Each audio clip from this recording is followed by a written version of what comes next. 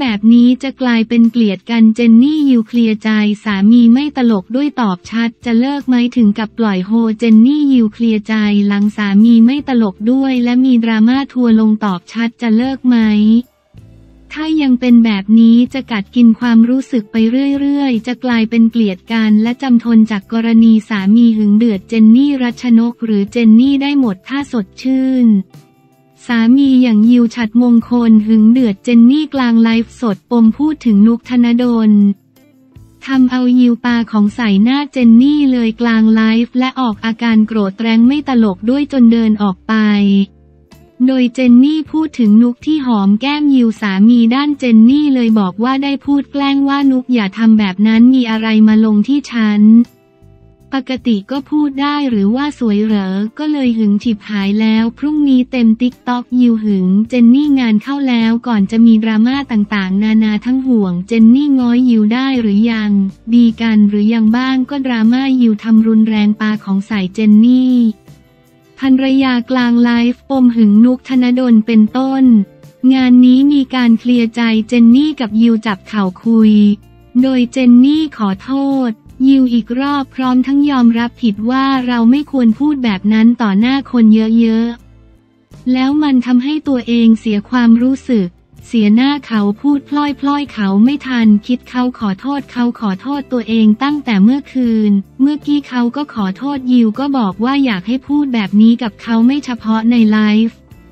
เพราะเขาไม่อินการพูดหน้าไลฟ์ เพราะหน้าไลฟ์เราไม่ได้เป็นตัวเราจริง ๆ เจนนี่อธิบายว่าถามพวกนี้ คนในไลฟ์เขาควรจะนิ่งไหม พวกนี้ก็บอกว่าขอโทษแล้วก็นิ่ง เดินขึ้นไปทำมืนๆแล้วก็ไปนอนซะพรุ่งนี้ก็ดีขึ้น แต่มันก็ไม่ดีขึ้นยิวเปิดใจตอนหนึ่งว่าทำไม่ได้ผิดมันดีอยู่แล้ว แค่ว่าเขาต้องการเวลาลูกต้องการเวลา ลินลี่น้องเจนนี่ก็มาสนับสนุนพี่เคยบอกพี่สาวว่าไปเที่ยวบ้างหยุดไลฟ์บ้าง ทั้งนี้ยิว ยังเผยอีกว่าไม่ต้องไปเที่ยวก็ได้แค่อยู่บ้านทำของกินกันแบบนี้ก็มีความสุข แถมลินลี่ต้องมาช่วยโค้ชให้พี่สาวอีกแรงให้หยุดไลฟ์บ้างโดยยิวบอกอีกว่าเหมือนถามว่าผมจะเลิกกับเจนไหม ผมจะไม่เลิกกับเจน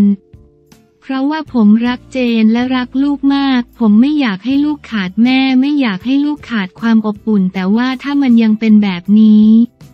มันจะกัดกินความรู้สึกไปเรื่อยๆ และจนมันรู้สึกว่ามันจะกลายเป็นเกลียดกันจริง ๆ เกลียดกันและจำทน ผมเลยพยายามพูดแบบนี้กับเจนหลังเคลียร์ใจ เจนนี่สุดกลั้นน้ำตาปล่อยโฮ โดยยิวเช็ดน้ำตาปลอบว่าถ้าตัวเองทำงานน้อยลงตัวเองจะมีเวลาโฟกัสครอบครัวตัวเองจะเข้าใจมากกว่านี้ เขาบอกแค่นี้พอเจนนี่ ร่ำให้เผยความรู้สึกเช่นกันว่ามันอาจจะยังเยอะไปในความคิดตัวเอง แต่เหมือนที่ผ่านมาเขาก็คิดว่า เขาก็ลดลงมาเยอะคอนเสิร์ตเขาก็ปฏิเสธไปเยอะมาก เขาก็พยายามแต่มันก็ยังไม่ดีพอ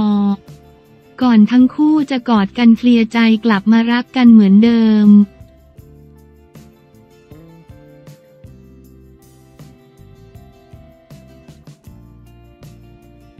ขึ้นเบอร์หนึ่งอาเซียน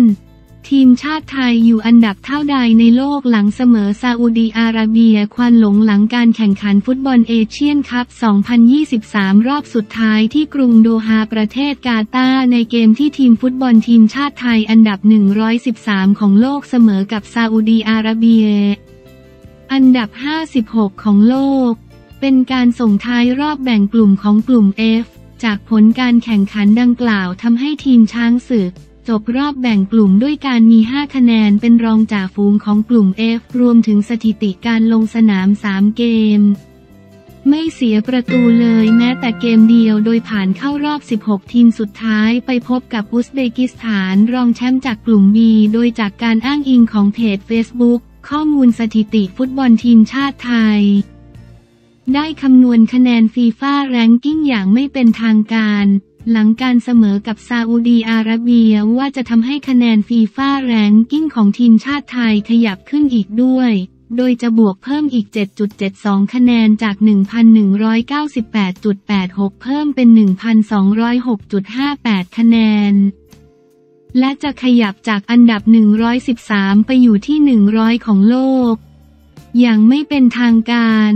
รวมถึงผลคะแนนดังกล่าวยังทำให้ทีมชาติไทย ก้าวขึ้นสู่การเป็นที่หนึ่งของอาเซียน หลังจากที่ทีมชาติเวียดนามที่ทำผลงานได้ไม่ดีนัก โดยไม่สามารถเก็บชัยชนะได้เลยทำให้มีแต้มลบลบ 41.00 คะแนน และอันดับโลกจากอันดับ 94 ตกลงไป 11 อันดับลงไปอยู่ที่ 105 ของโลก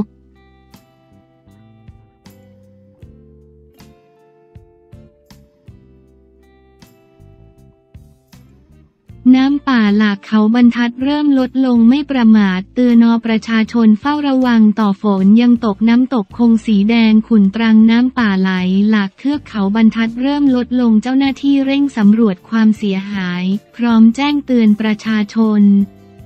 เฝ้าระวังต่อเนื่องรับมือฝนตกหนักน้ำตกกะช่องยังสีแดงขุ่นวันที่ 26 มกราคม 67 จากกรณีฝนตกติดต่อกันสะสมตั้งแต่เมื่อคืนที่วันที่ 24 มกราคมจนถึงบ่ายวันที่ 25 มกราคม เกิดเหตุน้ำป่าไหลหลากจากเทือกเขาบรรทัดลงมา น้ำตกกะช่องตำบลช่อง ตำบลช่อง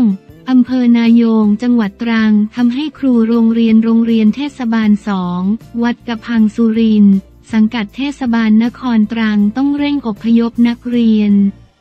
และเจ้าหน้าที่รวมเกือบ 300 คนที่ไปเข้าค่ายลูกเสือเนตรนารี บริเวณศูนย์ศึกษาธรรมชาติและสัตว์ป่าเขาช่อง ซึ่งอยู่ติดน้ำตกกะช่องกลับโรงเรียนทันทีเพื่อความปลอดภัยหลังไปทำกิจกรรมได้เพียงวันเดียว แจงมติ คณะรัฐมนตรี ยกเลิกครูเวรไม่ใช่ให้ตำรวจเข้าเวรแทนเป็นการบูรณาการทำงานร่วมกันรัฐบาลเร่งตั้งทีมแพทย์ฉุกเฉินทางอากาศ ครอบคลุมเข้าถึงการรักษา ผู้บัญชาการทหารอากาศ ควงนายกรัฐมนตรีแม่บ้านทับฟ้ายืนสอปอปอลาว ขณะเดียวกัน ปริมาณน้ำป่าจำนวนมากยังไหลลงท่วมพื้นที่การเกษตร และบ้านเรือนของชาวบ้านในพื้นที่ตำบลช่องอำเภอนายง รวมทั้งน้ำและต้นไม้กิ่งไม้ยังท่วมสะพานเส้นทางเข้าหมู่บ้านด้วย สถานการณ์ล่าสุด แม้บริเวณพื้นราบสภาพอากาศฟ้าจะเปิด แต่ยังคงสลับกับยังมีฝนตกโปรยปลาย แต่ที่สำคัญพบว่าบนเทือกเขาบรรทัดยังคงถูกปกคลุมไปด้วยกลุ่มฝนสีขาว และมีเมฆดำบางครั้งจึงมีฝนตกโปรยปลายตลอดเวลา ทั้งนี้ บริเวณน้ำตกกะช่องแหล่งศึกษาศึกษาธรรมชาติและสัตว์ป่าเขาช่อง พบว่าน้ำป่าเริ่มลดปริมาณและความแรงลงแล้ว แต่ยังคงมีสีแดงขุ่นบริเวณใต้สะพานยังคงมีต้นไม้ขนาดใหญ่จำนวนมากปิดขวางทางน้ำ รอเจ้าหน้าที่เข้าเคลียร์เปิดทางน้ำ ส่วนที่บริเวณสะพานบ้านช่องนายอุทกชูสิงห์นายกอบตช่องอำเภอนายง จังหวัดตรัง พร้อมกำลังเจ้าหน้าที่ทหารจากค่ายพระยารัศดานุประดิษฐ์จังหวัดตรังกว่าสิบนาย เร่งออกสำรวจและให้ความช่วยเหลือประชาชน โดยนายกอบตบอกว่าจากที่น้ำป่าไหลหลากลงมาทำให้มีน้ำหลากเข้าท่วมพื้นที่การเกษตรจำนวนมาก รวมทั้งมีบ้านเรือนได้รับผลกระทบทั้งหมด 50 ครัวเรือนรวม 4 หมู่บ้าน ประกอบด้วยหมู่ 1 3 4 7 โดยน้ำป่าไหลหลากเข้าในบ้านบางบ้านขนของทันบางบ้านก็ขนไม่ทันโดยขณะนี้ปริมาณน้ำลดลงก็จะเร่งฟื้นฟู โดยอบจตรัง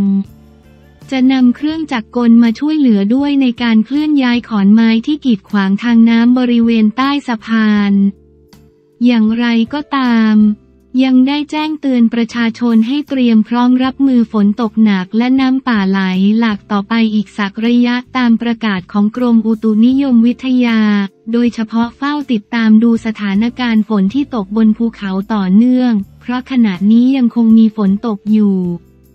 เกรงจะเกิดเหตุน้ำป่าไหลหลากซ้ำจะได้เร่งรับมือได้ทัน